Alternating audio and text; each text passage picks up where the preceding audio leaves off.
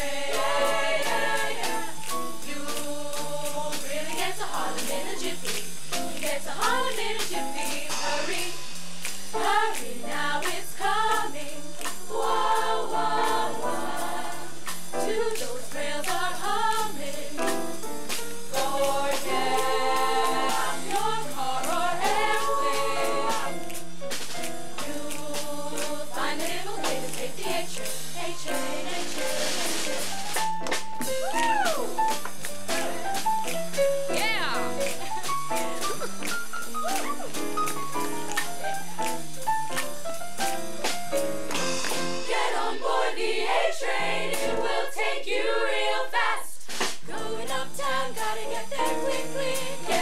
Get your hands up.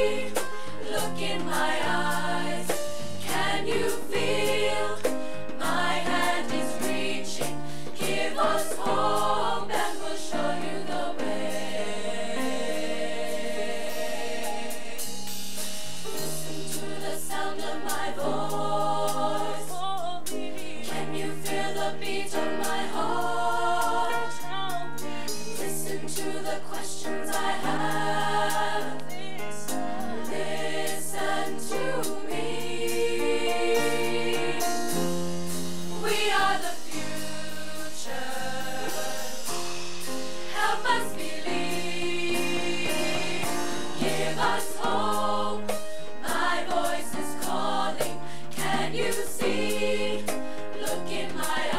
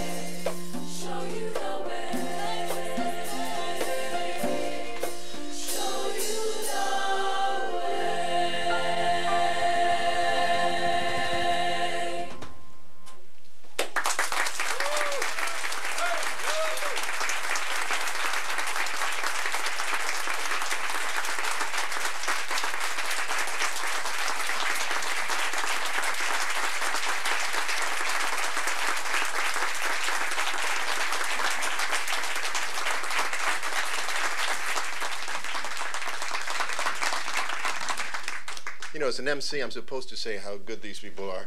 But man, I'm blown away. They're terrific. Let's give them another big hand of applause. Francisco, congratulations.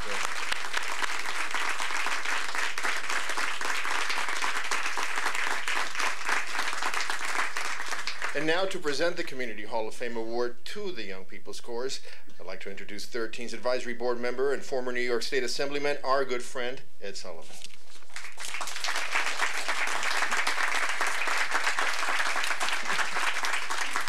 Well, I think you have heard why these are these young people. The Young People's Chorus is one of this evening's honorees.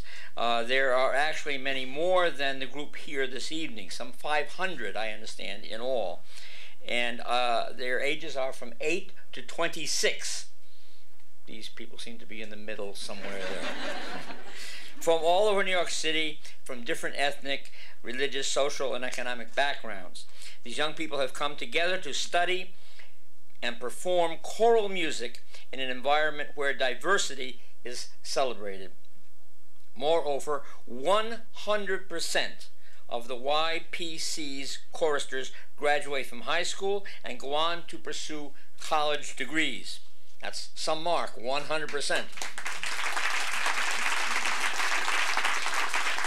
Not, not only does their singing apparently make them all smart, but it also offers extraordinary performance opportunities. They have sung at Carnegie Hall, Lincoln Center, before President and Mrs. Bush, to name just a few. Next year, the YPC will represent the United States at the 7th World Symposium of Choral Music in Kyoto, Japan, as America's only choir representatives. Congratulations to you all.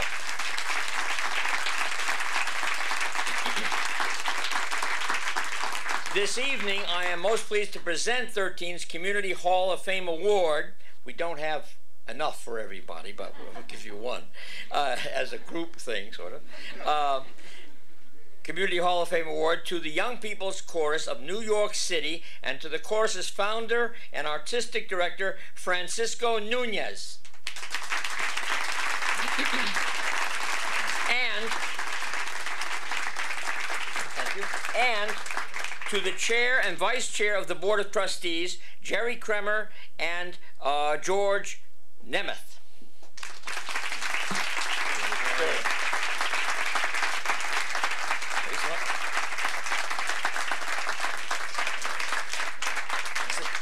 Since Francisco came up first, I'll present it to him. Thank you, thank you.